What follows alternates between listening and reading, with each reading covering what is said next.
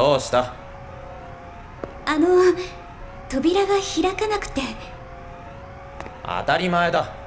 この先は特別管理区なんだ。許可なく入ることはできないぞ。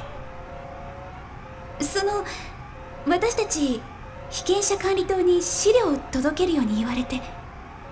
ID を。はい。確認した。ロックを解除するからすぐに行きたまえ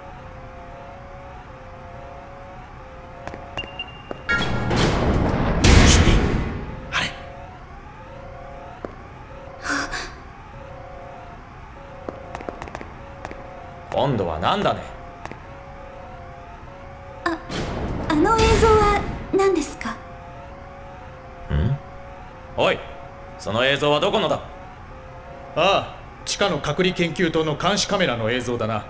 どうかしたのか？ああいえちょっと気になったもので。お前たちには関係のない場所だ。余計な詮索をせずにさっさと持ち場に戻れ。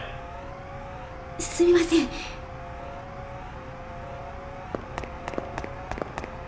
主任あれは確かにアニマの器でしたよ。